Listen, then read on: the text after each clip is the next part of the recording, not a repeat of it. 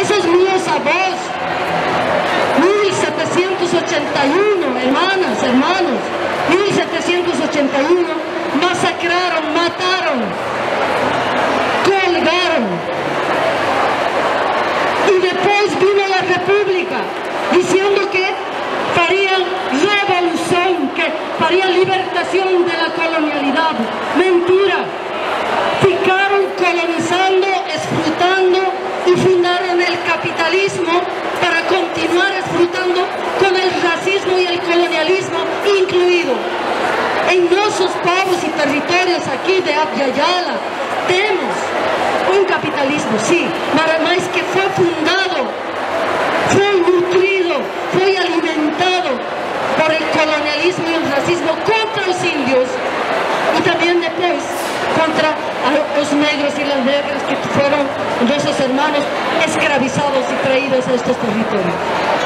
Entonces, hermanos, nos, nada de la Bolivia, decimos, respetamos las lutas que tienen las feministas en la Francia, que ficaron diciendo que no querían derechos solo para los hombres, sino que querían derechos también para las mujeres. Respetamos.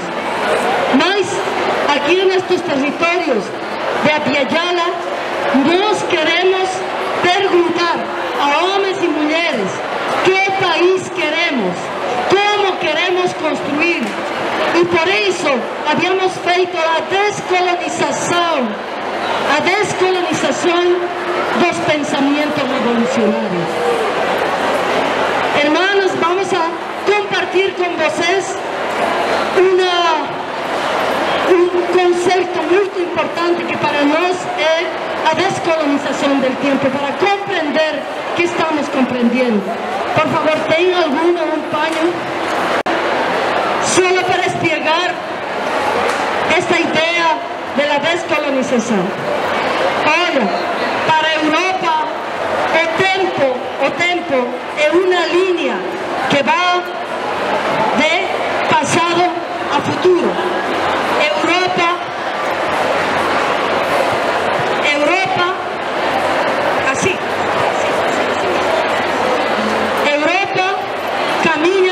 pasado, camina olhando al futuro. Camina así. Para nós, povos originários, o tempo é circular, mas agora não vamos a falar de isso. Vamos a utilizar la linealidad del tiempo de Europa. De la misma manera, hermanas, decimos, este es el tiempo de Europa y este es el tiempo de Abya Yala, de Como se llama Yala. ¿Qué aconteció en 1492? 1500, 1400 invasión dos portugueses a nuestros cuerpos y a nuestros territorios. A invasión dos españoles, franceses, holandeses, de ese tiempo de la Europa a nuestro tiempo.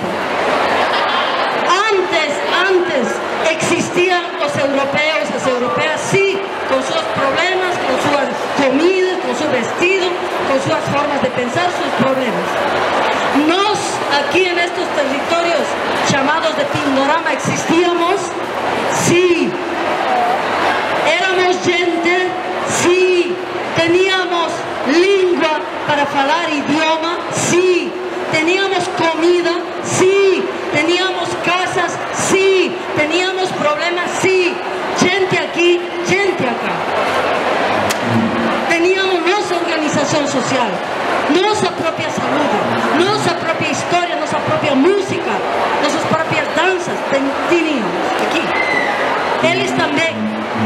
Mas este, este tiempo, esta gente de aquí ignoraba a nos, a esta gente. Nós también ignorábamos a esa gente. Mas ¿qué aconteció en 1492, 1500? Este tiempo, este tiempo de su ignorancia de nos, con sus conceptos, con sus palabras, comprendió, comprender nosso tempo. Com suas palavras, com sua cultura, com sua forma de ser, de vivir de aí, desse tempo, compreendió a nós, comprimió, redujo nossa vida, nossos territórios, nosso tempo, nossa língua, tudo, para poner a nós en el pasado de eles. Então, a partir desse momento, nós, povos originários que teníamos em contemporaneidade, igualdade de língua, diferentes, mas também teníamos nossa própria vida, a partir desse momento comenzamos a ser salvajes, subdesarrollados, incivilizados, feios, sucios, tontos, ignorantes. ¿Por qué? Porque a comprensión de ellos, su idioma que estoy hablando, era eso, reducido. No sabía qué éramos nos. Mas desde la su ignorancia redujeron, comprendieron a nos y ficamos en el pasado. Entonces, hermanas, ¿qué cosas nos decimos? Tenemos que recuperar nuestros cuerpos, nuestros territorios, nuestro tiempo, nuestras vidas, nuestra dignidad aquí. Comprender por qué ellos, ellos desde sus conceptos, desde su ignorancia, están muy felices, ¿no? Que no somos los ignorantes. Mas saben qué cosa es lo más terrible, lo más, lo más terrible para nos, hermanas, hermanos, es acreditar que somos el pasado de ellos. Eso es lo más importante. Que nos estamos esperando el permiso de Washington, el permiso de, las academias, el permiso, permiso de la Bolsa de Nueva York. Estamos pidiendo cartones, doctorados, aval de la Europa. Porque estamos admitiendo sobre nuestros cuerpos, sobre nuestras vidas, que nos somos el pasado y tenemos que correr para alcanzar a la Europa. Entonces, nos decimos, tenemos que recuperar nuestro tiempo. Nos, feministas comunitarias, mujeres de pueblos originarios, decimos a nuestros hermanos y decimos a nuestras hermanas, no solo indígenas, mas desde la memoria de la ancestralidad decimos, tenemos que descolonizar nuestros cuerpos, nuestras mentes, nuestros sueños. ¿Para qué? Oye, ahora nos queremos proponer, si vocês, ahí donde están, se agarran de las manos, por favor. Entonces, nos hermanas decimos, tenemos que descolonizar el tiempo. ¿Para qué? Para que Europa fique lá, un tiempo, entre muchos tempos que somos el planeta Tierra, muchas culturas, muchos pueblos, muchas, muchos sueños, muchos tempos, muchas propuestas de vida. No son ellos, Europa, no es el modelo. Eles têm direito de vivir, sim, mas são uno. Nós queremos descolonizar para construir a comunidade de comunidades.